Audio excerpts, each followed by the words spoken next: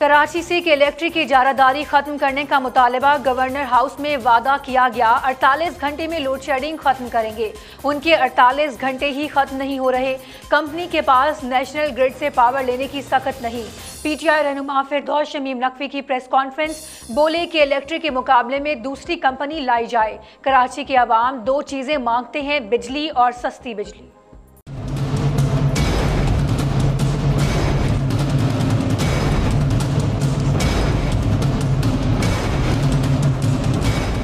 तो हम आज, जबकि तीन साल बाकी हैं इनके माहदे के खत्म होने के, वफाक से डिमांड कर रहे हैं को वो ये बात अनाउंस करे कि प्रिंसिपली वो कराची के अंदर बिजली के डिस्ट्रीब्यूशन के बिज़नेस में जो एक कंपटीशन लाएगी। तो मैं समझता हूँ कि वो शहर, जो मीशत की रीढ़ की हड्डी है, जो पाकिस्तान के टैक्स पे सबसे ज़्यादा टैक्स जमा करके देता है, ये शहर है जिधर अट्ठावन फ़ीसद टैक्स जमा होता है।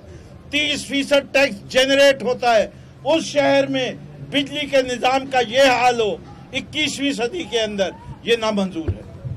और हम इस सिलसिले में क्या क्या करेंगे, वो आफ्ताब सिद्दीकी साहब बताएँगे। आज हमारा यहाँ जमा होकर इस बात का कहना है कि हमारे नज़दीक इसका हल ये है कि कराची में एक दूसरी कंपनी लाई जाए मुकाबले पे के इलेक्ट्रिक के।